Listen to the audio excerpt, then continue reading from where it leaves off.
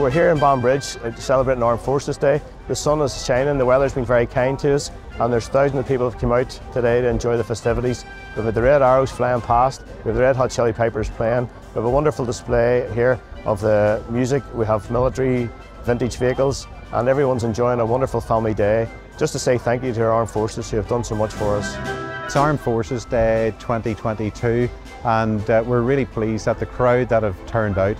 We've had the drumhead service uh, first thing uh, this morning and then uh, Red Arrows uh, overhead display uh, just before lunchtime and then had the parachutists coming for their aerial display as well.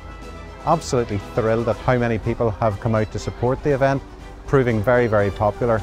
The fact that the weather has turned out so well is an added bonus. So another excellent event that's been run by uh, the Council.